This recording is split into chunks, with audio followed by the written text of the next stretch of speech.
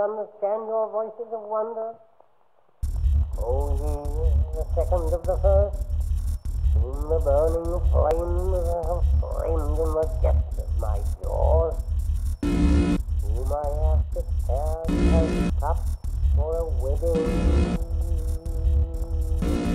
Oh, the flowers in their beauty, for the chamber of their. Stronger are your the barren stone, and the mightier are your voices than the manifold wind. For you are become a building substitute, raising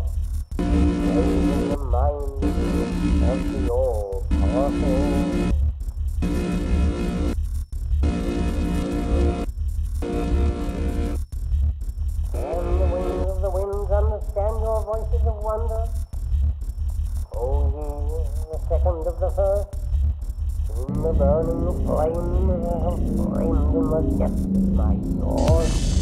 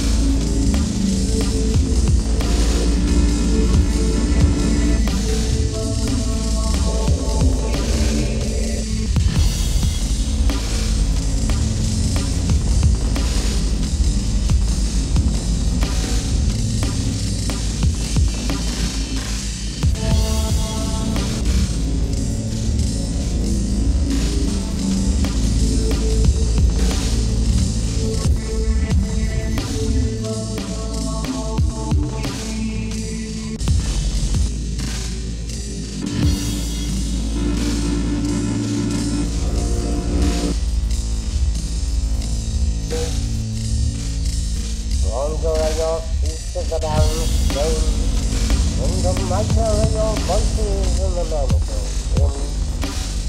As you are become a building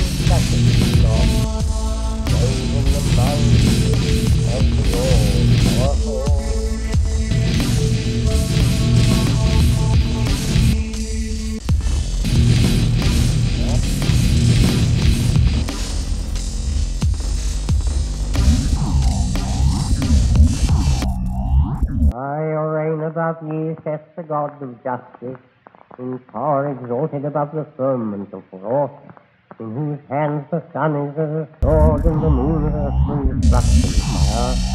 He measures your garments in the midst of my vesture, and cuts you together in the palms of my hand.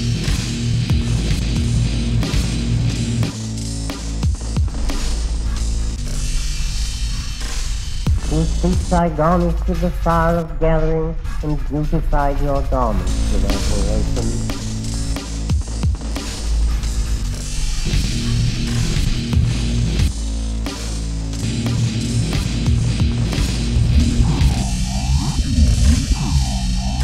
To I a law to govern the holy ones, and delivered ye a rod with the ark of knowledge.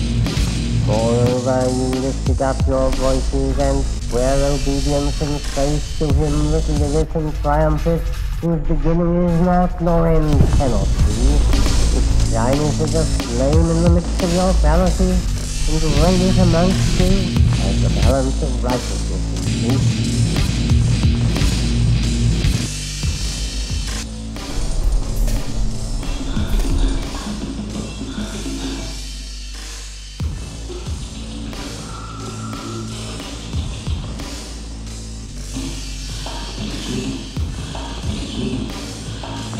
Move therefore and show yourselves. Open the mysteries of your creation. Be friendly unto me, for I am the servant of the same your God, true worshipper of the highest